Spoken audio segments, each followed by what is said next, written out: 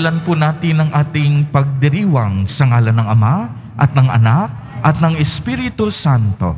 Amen. Ang pagpapala ng ating Panginoong Heso Kristo, ang pag-ibig ng Diyos Ama at ang pakikipagkaisa ng Espiritu Santo naway sumainyong lahat. At sumaiyo rin. Mga kapatid kay Kristo at mga kadiboto, ipinagdiriwang natin ngayon ang dakilang kapistahan ng Corpus Christi o ang banal na katawan at dugo ng ating Panginoong Heso Kristo.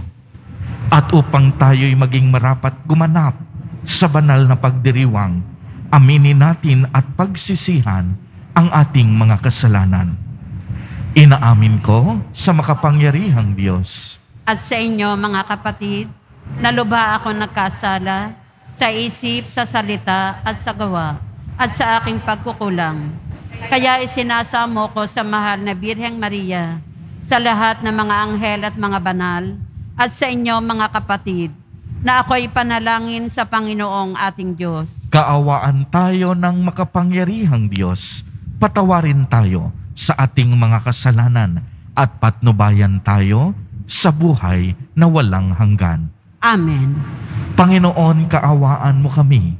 Panginoon, kaawaan mo kami. Kristo, kaawaan mo kami. Kristo, kaawaan mo kami. Panginoon, kaawaan mo kami. Panginoon, kaawaan mo kami. Gloria in excelsis Deo. Papuri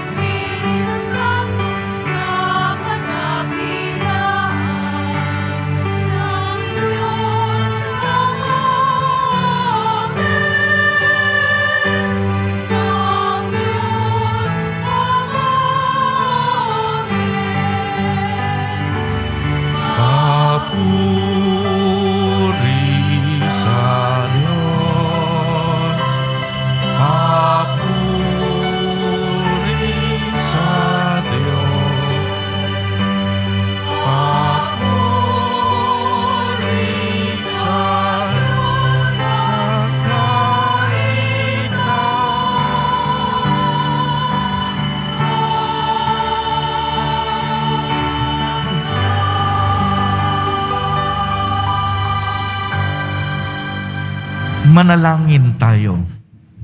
Diyos na totoo at tao namang totoo, Panginoon naming Heso Kristo, ang huling hapunan ay inilagak mo para kami magkasalo-salo sa alaala ng iyong pagpapakasakit ukol sa mga tao. Ipagkaloob mo ang aming kahilingang ang iyong katawan at dugo ay aming idangal sa pagdiriwang upang ang dulot mong kaligtasan ay lubos naming mapakinabangan kasama ng Espiritu Santo magpa sa walang hanggan. Amen. Magsiupo muna ang lahat.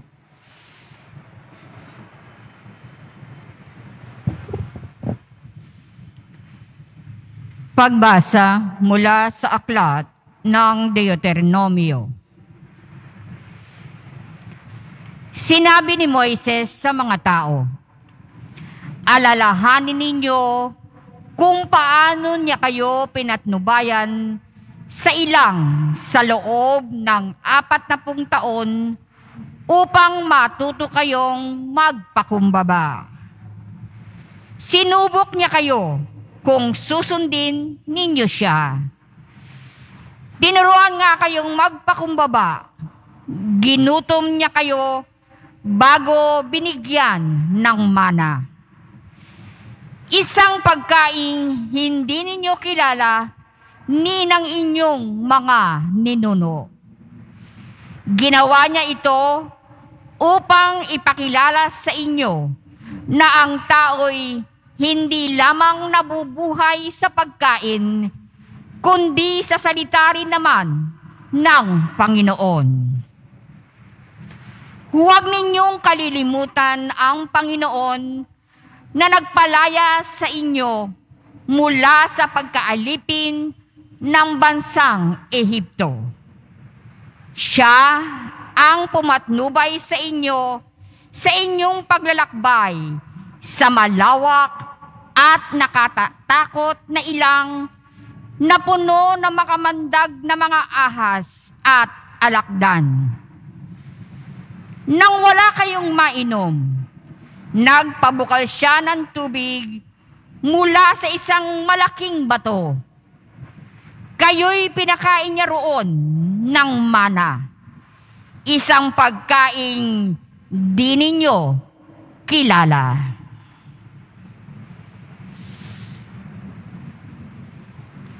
Ang salita ng Diyos. Salamat sa Diyos. Purihin mo, Jerusalem, ang Panginoong butihin. Purihin mo, Jerusalem, ang Panginoong butihin. Purihin mo, Jerusalem, purihin ang Panginoon.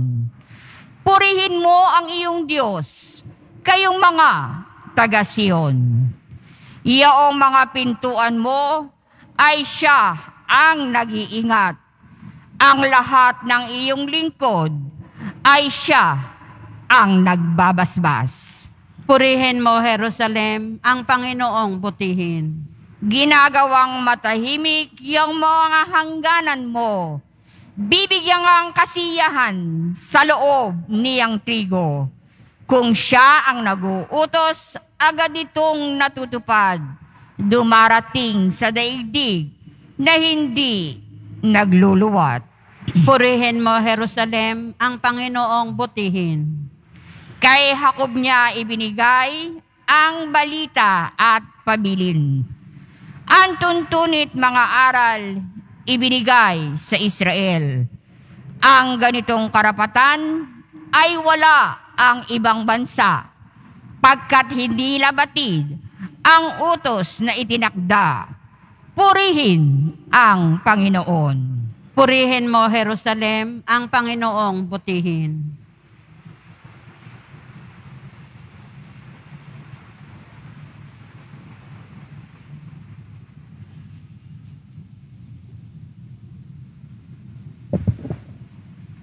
Pagbasa mula sa unang sulat ni Apostol San Pablo sa mga taga-Korinto. Mga kapatid, hindi ba't ang pag-inom natin sa kalis ng pagpapala na ating pinagpapa ipinagpapasalamat ay pakikibahagi sa dugo ni Kristo at ang pagkain na rin ng tinapay na ating pinaghahati-hati ay pakikibahagi naman sa kanyang katawan. Kaya nga, yamang isa lamang ang tinapay, tayo'y iisang katawan, bagamat marami, sapagkat nakikibahagi tayo sa iisang tinapay. Ang salita ng Diyos. Salamat sa Diyos. Tumayo po ang lahat.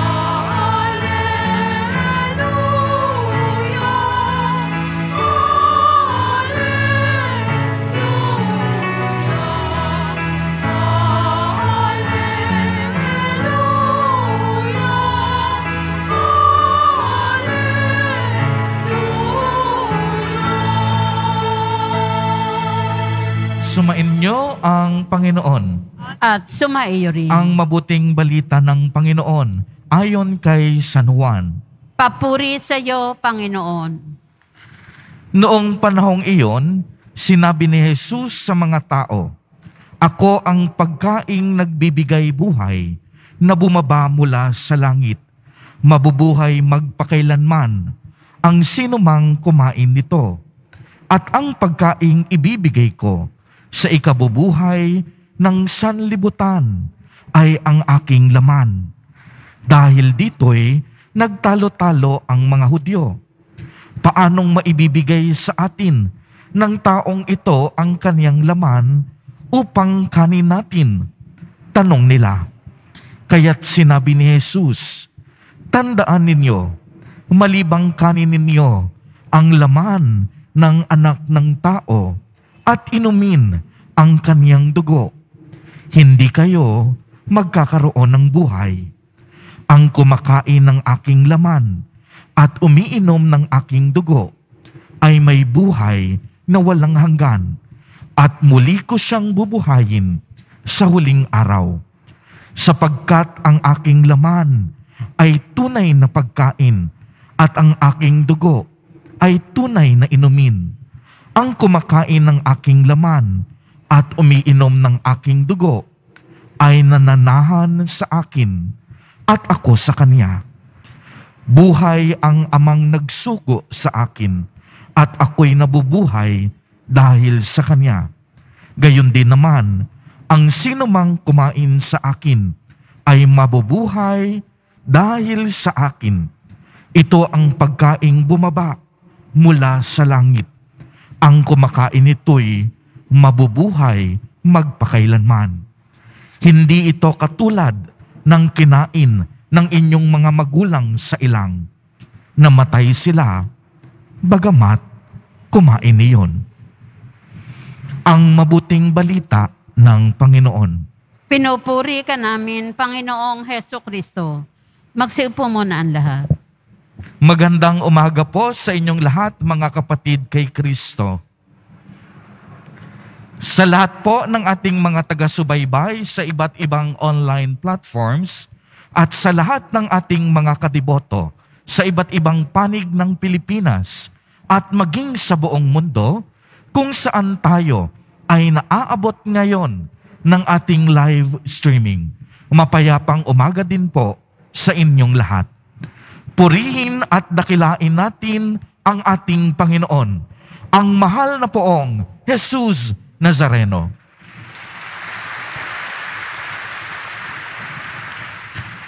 Mga kapatid kay Kristo at mga kadiboto, noong pong at ngayon po ay ating ipinagdiriwang ang dakilang kapistahan ng katawan at dugo ni Kristo. Noong isang linggo po ay ating ipinagdiwang naman ang dakilang kapistahan ng tatlong persona sa isang Diyos. Sa ating pagninilay noong nakaraang linggo ay sinabi natin na ang Diyos ay pag-ibig at ang banal na santatlo ay nagkakaisang pag-ibig or love in communion. Ang banal na santatlo ay isang komunidad ng pagkakaugnay-ugnay. Sinabi rin natin na ang Diyos ay hindi maaaring maging isang pag-ibig na para lang sa kaniyang sarili. Dahil ang pag-ibig nangangailangan ng isang nagmamahal, isang minamahal, at ang pag-ibig na nagbubuklod sa nagmamahal at sa minamahal. Kaya nga ang Diyos ay isang banal na santatlo dahil walang patid ang daloy ng pag-ibig.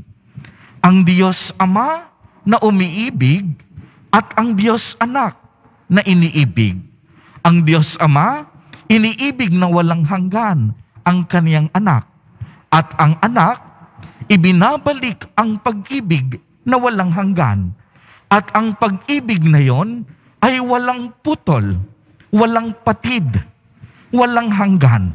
At ang tawag sa pag-ibig na namamagitan sa pagitan ng umiibig at ng iniibig ay ang banal na espiritu. Kaya nga tayo ay may banal na santatlo. Kaya nga mga kapatid kay Kristo, papalawakin natin ngayon ang ating pangunawa tungkol sa pag-ibig.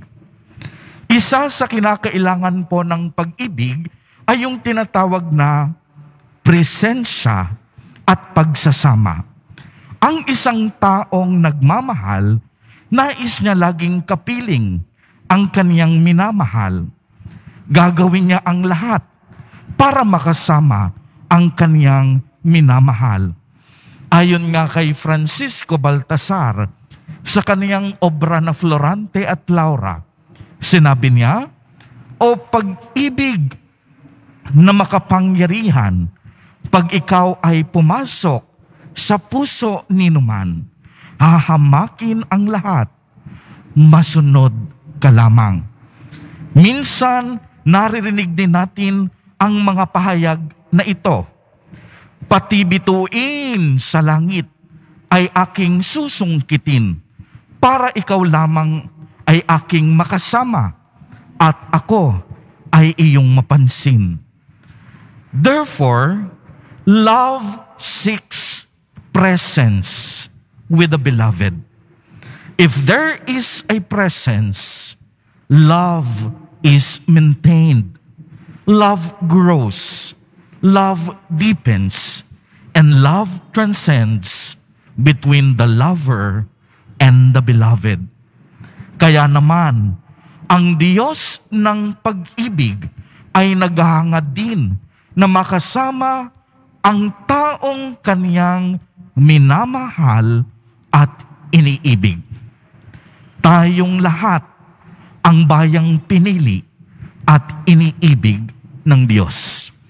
Kaya nga binigyan ng Diyos ang kaniyang mga tao ng tanda ng kaniyang presensya dahil tayong lahat iniibig ng Diyos. At ano ang tanda o simbolong ito? Ito ay walang iba kung hindi ang sakramento ng katawan at dugo ng kaniyang anak, ang ating mahal na poong Jesus Nazareno. Ang kapistahan ng katawan at dugo ni Kristo sa makatuwid ay isang pagdiriwang ng tanda at sakramento ng pagpapanatili ng presensya ng Diyos sa kaniyang tao, sa kaniyang bayang pinili, sa kaniyang simbahan. Kaya nga pinili ng Diyos ang katawan at dugo ng kaniyang anak bilang maging mabisang tanda at buhay na paalala ng kaniyang presensya. Sa paanong paraan? Ang katawan at dugo ni Jesus ay ang pinakadakilang palatandaan na kumikilos ang Diyos sa ating mga buhay. Dahil sa katawan at dugo ng ating mahal na poong Jesus Nazareno, tayo ay tinubos sa ating mga kasalanan at tayong lahat magiging tagapagmana ng kaharian ng Diyos sa langit. Di ba ang ating Panginoong Hesus mismo ang nagsabi at naghabilin? Gawin ninyo ito bilang pag-alaala sa akin. At alam po ninyo mga kapatid kay Kristo at mga kadiboto, para sa mga Griego, ang alaala ay hindi lamang basta pagbabalik sa nakaraan. Ang alaala ay ang pagdadala sa kasalukuyan ng mga nangyari sa nakaraan. Uulitin ko po, ang pag-alaala para sa mga Griego ay ang pagdadala sa kasalukuyan ng mga nangyari sa nakaraan. Kaya sa tuwing inaalala natin ang pagliligtas ng ating mahal na poong Jesus Nazareno sa krus, patuloy at tunay itong nagaganap ngayon sa ating panahon. Kaya naman ang Eucharistia na ating ipinagdiriwang ngayon ay pagsasaganap ngayon ng sakripisyo ni Kristo sa Kalbaryo. Hindi lamang pag-alala, ngunit pagsasangayon ng dakilang pag-ibig at bagong tipan sa dugo ni Kristo. Sa tuwing ipinagdiriwang ang Eucharistia, ang sanktuaryo na inyong nakikita ay nagiging makabagong kalbaryo at ang altar ay nagiging krus. Ang tinapay at alak ay magiging tunay na katawan at dugo ng ating Panginoon. Ang mga pari naman ay nagsasabuhay muli ng kamatayan ni Jesus sa ganitong paraan. Ramdam na ramdam natin ang presensya ng ating Panginoon. Ibig sabihin, mula noon hanggang ngayon, hindi tayo iniwan ng ating mapagmahal na Diyos. Sa Eucharistia, damang-dama natin ang kaniyang presensya. Kaya naman po ang Eucharistia rin ay ang perpektong handog sa ating lahat. Sapagkat dito, ipinagkaloob ni Heso Kristo ang buong buo niyang sarili sa atin. Ngunit ang Eucharistia rin ay isang regalong may kalakip na hamon sapagkat hinihingi nito na tayong lahat maging regalong ganap din sa ating kapwa at mga kapatid. Kaya nga bilang katawan ni Kristo, tayong mga Kristiyanong komunidad ay dapat maging handa rin na mahati upang maibahagi para sa iba. Lalo na sa walang mga tinapay, ang mga nagugutom, ang mga dukha, ang mga inaapi.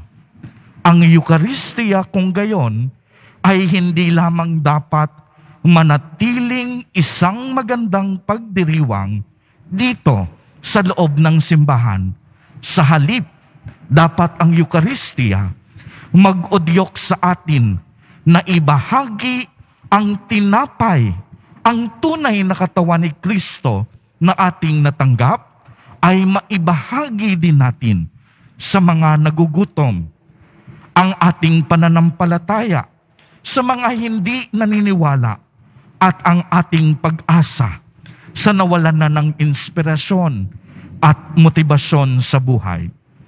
Mga kapatid at mga kadiboto, ito ang hamon ng kapistahan ngayon pagkatapos nating tanggapin mamaya ang tunay na katawan at dugo ng ating mahal na poong Jesus Nazareno. Huwag po tayong matakot, mahati upang maibahagi sa kapwa, lalong-lalo na sa puspalad at nangangailangan. Huwag tayong matakot pagpirapirasuhin, alang-alang sa pag-ibig at pagkakawang gawa. Dahil sa pagbibigay at pag-aalay ng ating mahal na poong Jesus Nazareno, tayong lahat na makasalanan, natubos at biniyayaan ng kaligtasan. Kaya nga, kung walang pagbibigay at walang paghahati-hati, ay wala rin tayong kaginhawahang tatamasahin. Mga kapatid kay Kristo at mga kadiboto, ang banal na Eucharistia ay masigit nating mauunawaan kung sa paglabas natin mamaya sa dambana at simbahang ito, kagaya ng ating mahal na poong Jesus Nazareno, handa rin tayong magbigay, mahati, at maibahagi ang sarili para sa ating kapwa at para na rin sa ating mga minamahal. Purihin at dakilain natin ang ating Panginoon, ang mahal na poong Jesus Nazareno. Tumayo po ang lahat. Ipahayag po natin ang ating pananampalataya. Sumasampalataya ako Sa Diyos amang makapangyarihan sa lahat, na may gawa ng langit at lupa. Sumasampalataya ako kay Heso Kristo, iisang anak ng Diyos, Panginoon nating lahat. Nagkatawan tao siya lalang ng Espiritu Santo. Ipinanganak ni Santa Mariang Birhen, pinagpakasakit ni Poncio Pilato, ipinako sa krus, namatay, inilibing, nanaok sa kinaroroonan ng mga yumao, nang may ikatlong araw, nabuhay na maguli. Umakyat sa langit, naluluklok sa kanan ng Diyos, amang makapangyarihan sa lahat. Doon magmumulang paririto at huhukom sa nangabubuhay at nangamatay na tao. Sumasampalataya naman ako sa Diyos Espiritu Santo, sa banal na simbahang katolika, sa kasamahan ng mga banal, sa kapatawaran ng mga kasalanan, sa pagkabuhay na muli na nangamatay na tao, at sa buhay na walang hanggan. Amen. Mga minamahal na mga kapatid, hilingin natin sa Diyos Ama sa pamamagitan ng kaniyang anak na si Jesus na pawiin ang ating pagkagutom at busugin tayo ng kaniyang pagpapala at biyaya sa bawat panalangin ang atin pong itutugon. Panginoon, dinggin mo kami. Panginoon, tinggin mo kami. Mamuhay nawa ng may katapatan sa Eukaristiya ang mga pinuno ng simbahan upang ang dakilang pagsasalong ito ay tunay na maging sagisag ng aming pananalig kay Kristong anak mo at paglilingkod sa aming kapwa. Manalangin tayo. Panginoon, dinggin mo kami. Maranasan nawa ng mga pinuno ng aming pamayanan ang nakakapagpanibagong kapangyarihan ng Eukaristiya at hayaan itong ipagbuklod kami sa kultura ng kapayapaan, pagkakaisa at pagbabago. Manalangin tayo. Panginoon, dinggin mo kami. Huwag nawa naming hangarin ang mga pananandaliang bagay na nakapapawi sa pagkagutom at pagkauhaw. Amin nawang hanapin ang pagkaing maghatid sa buhay na walang hanggang. Ang katawan ni Kristo. Manalangin tayo. Panginoon, dinggin mo kami. Magdulot nawa ng pagmamahalan, pag-uunawaan, pagkakaisa, at kaligayahan ng aming pagsasalo sa Eukaristiya na tunay ngang sumasalamin sa dakilang piging sa kalangitan. Manalangin tayo. Panginoon, dinggin mo kami. Maging ganap nawa ang kagalakan ng mga kapatid naming yumao sa piling mo, O Diyos, naming Ama. Manalangin tayo. Panginoon, dinggin mo kami. Sa ilang sandali ng katahimikan, itas natin sa Diyos ang ating pansariling kahilingan, gayon din ang iba pang mga pangangailangan ng ating pamayanan. Manalangin tayo. Panginoon, dinggin mo kami. Diyos naming nagkatawang tao, pakinggan mo ang aming dalangin. Maging lakas nawa namin ang alak at tinapay, ang katawan at dugo ni Jesus, hanggang makamtan namin ang buhay kapiling mo. Hiniling namin ito sa ngalan ni Heso Kristong anak mo at aming Panginoon. Amen. Magsiupo muna ang lahat. Handog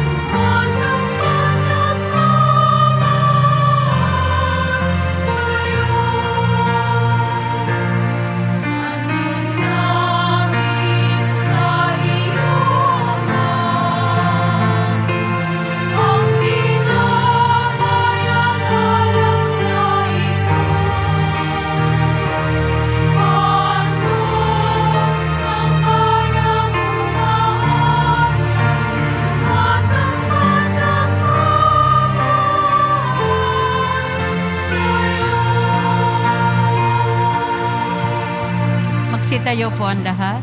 Manalangin kayo mga kapatid upang ang paghahain natin ay kalugdan ng Diyos amang makapangyarihan. Tanggapin nawa ng Panginoon itong paghahain sa iyong mga kamay, sa kapurihan niya at karangalan, sa ating kapakinabangan at sa buong sambayanan niyang banal. Ama naming lumikha, bigyan mo ngayon ang iyong sambayanan ng mga kaloob na pagkakaisa at kapayapaan na ipinapahiwatig ng mga alay namin sa paghahaing ipinagdiriwang sa pamamagitan ni Yesu Kristo kasama ng Espiritu Santo magpa sa walang hanggan. Amen. Sumainyo ang Panginoon. At sumaiyo rin. Itaas sa Diyos ang inyong puso at diwa Itinaas na namin sa Panginoon. at ay buhayin. Ang dugo niya'y dumanak, ng lahat ay mapatawad. Kaya kaisa ng mga anghel na nagsisiawit ng papuri sa iyo, nang walang humpay sa kalangitan, kami nagbubunyi sa iyong kadakilaan. Manal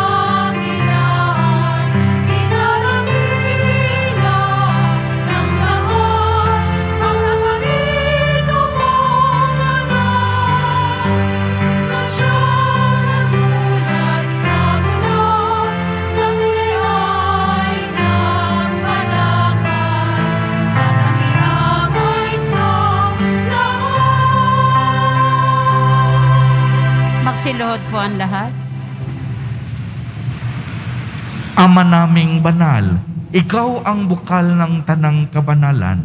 Kaya't sa pamamagitan ng iyong espiritu, ay gawin mo pong banal ang mga kaloob na ito upang para sa amin ay maging katawan at dugo ng aming Panginoong Heso Kristo. Bago niya pinagtiis ang kusang loob na maging handog, hinawakan niya ang tinapay, pinasalamatan kaniya, pinaghati-hati niya iyon, iniabot sa kaniyang mga alagad at sinabi, Tanggapin ninyong lahat, ito at kanin. Ito ang aking katawan na ihahandog para sa inyo.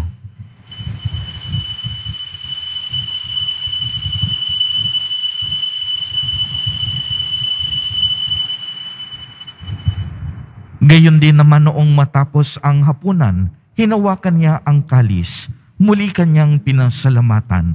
Iniabot niya ang kalis sa kanyang mga alagad at sinabi, Tanggapin ninyong lahat ito at inumin. Ito ang kalis ng aking dugo, ng bago at walang hanggang tipan, ang aking dugo na ibubuhos para sa inyo at para sa lahat sa ikapagpapatawad ng mga kasalanan. Gawin ninyo ito sa pag-alaala sa akin.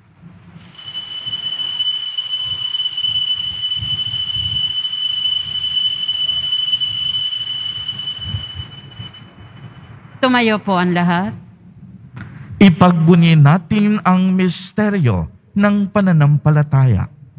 Si Kristo'y namatay, si Kristo'y nabuhay, si Kristo'y babalik sa wakas ng panahon. Ama, ginagawa po namin ngayon ang pag-alaala sa pagkamatay at muling pagkabuhay ng iyong anak. Kaya't iniaalay namin sa iyo ang tinapay na nagbibigay buhay at ang kalis na nagkakaloob ng kaligtasan. Kami po'y nagpapasalamat dahil kami iyong minarapat na tumayo sa harap mo para maglingkod sa iyo. Isinasamo namin na kaming magsasalo-salo sa katawan at dugo ni Kristo ay mabuklod sa pagkakaisa sa pamamagitan ng Espiritu Santo. Ama, lingapin mo ang iyong simbahang laganap sa buong daigdig. Puspusin mo kami sa pag-ibig kay isa ni Francisco na aming Santo Papa at ni Jose na aming Obispo at ng Tanang Kaparian. Alalahanin mo rin ang mga kapatid naming nahimlay nang may pag-asang sila'y muling mabubuhay, gayon din ang lahat ng mga pumanaw. Kaawaan mo sila at patuloyin sa iyong kaliwanagan. Kaawaan mo at pagindapatin kaming lahat na makasalo sa iyong buhay na walang wakas, kaisa ng mahal na Birheng Maria na ina ng Diyos, ng kabiyak ng puso niyang si San Jose, kaisa ng mga apostol ni San Juan Bautista, San Lorenzo Ruiz de Manila, at San Pedro Calunsod, at ng lahat ng mga banal na namuhay dito sa daigdig ng kalugod-lugod sa iyo. Maipagdiwang nawa namin ang pagpupuri sa ikararangal mo sa pamamagitan ng iyong anak na aming Panginoong Heso Kristo. Sa pamamagitan ni Kristo, kasama niya at sa Kaniya, ang lahat ng parangal at papuri ay sa iyo, Diyos amang makapangyarihan, kasama ng Espiritu Santo magpa sa walang hanggan.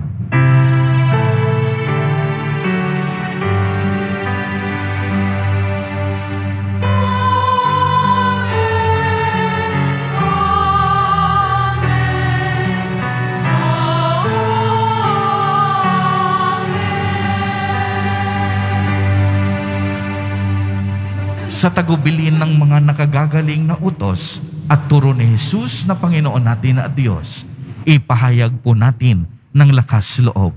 Ama namin, sumasalangit ka. Sambahin ang ngalan mo. Mapasa amin ang kaharian mo. Sundin ang loob mo dito sa lupa para nang sa langit. Bigyan mo kami ngayon ng aming kakanin sa araw-araw. At patawarin mo kami sa aming mga sala para ng pagpapatawad namin sa nagkakasala sa amin. At huwag mo kaming ipahintulot sa tukso at iadya mo kami sa lahat ng masama. Hiniling namin na kami iadya sa lahat ng masama, pagkalooban ng kapayapaan araw-araw, iligtas sa kasalanan at ilayo sa lahat ng kapahamakan, samantalang aming pinananabikan ang dakilang araw ng pagpapahayag ng tagapagligtas naming si Heso Kristo. sapagkat iyo ang kaharian at ang kapangyarihan at ang kapurihan magpakailanman. Amen. Panginoong Yeso Kristo, sinabi mo sa iyong mga apostol, kapayapaan ang iniiwan ko sa inyo. Ang aking kapayapaan ang ibinibigay ko sa inyo. Tunghayan mo ang aming pananampalataya at huwag ang napakarami at paulit-ulit naming pagkakasala. Pagkalooban mo kami ng kapayapaan at pagkakaisa ayon sa iyong kalooban, kasama ng Espiritu Santo, magpa sa walang hanggan. Amen. Ang kapayapaan ng Panginoon ay laging sumainyo. At sumaiyo rin. Magbigayan po tayo ng kapayapaan sa isa't isa. Kordero ng Diyos na nag-aalis ng mga kasalanan ng sanlibutan, maawa ka sa amin. Kordero ng Diyos na nag-aalis ng mga kasalanan ng sanlibutan, maawa ka sa amin. Kordero ng Diyos na nag-aalis ng mga kasalanan ng sanlibutan, ipagkaloob mo sa amin ang kapayapaan. Magsiluhod po ang lahat.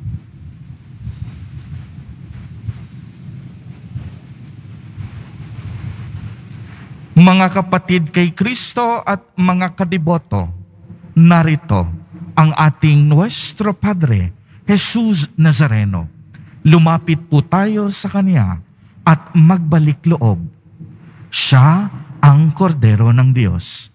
Siya ang nag-aalis ng mga kasalanan ng sanlibutan. Mapapalad po tayo na inaanyayahan sa Kanyang piging. Panginoon, hindi ako karapat dapat na magpatuloy sa iyo. Ngunit sa isang salita mo lamang ay gagaling na ako. Ipagsanggalang nawa ako ng katawan at dugo ni Kristo para sa buhay na walang hanggan. Amen.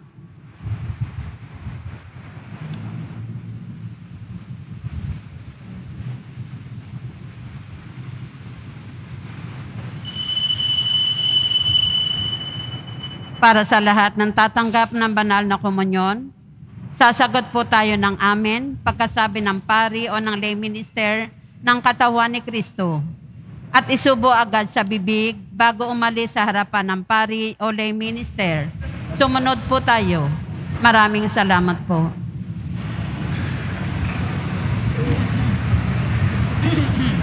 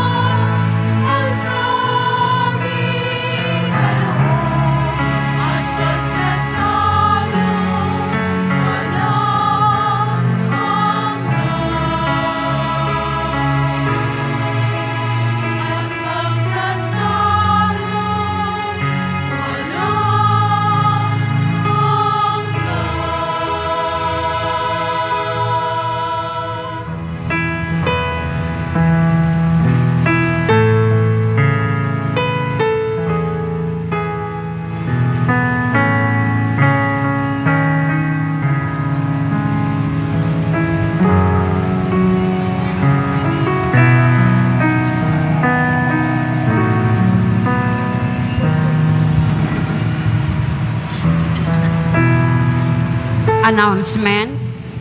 Sa darating na June 17, 2023, Sabado, magkakaroon po tayo ng binyagang bayan para sa mga batang 0 to 7 years old.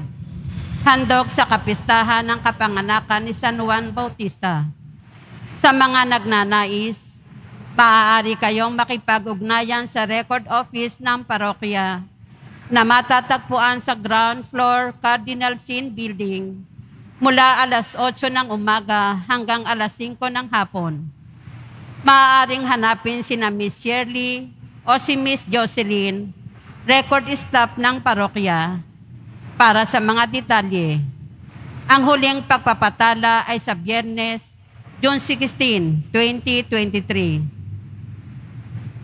Ngayon po ay pinagdiriwang po natin ang dakilang kapistahan ng kabanal-banalang katawan at dugo ng Panginoon o Corpus Christi. Kaugnay nito, magkakaroon po tayo ng prosesyon mamaya ng kabanal-banalan sakramento pagkatapos ng ikatlo ng hapon na misa.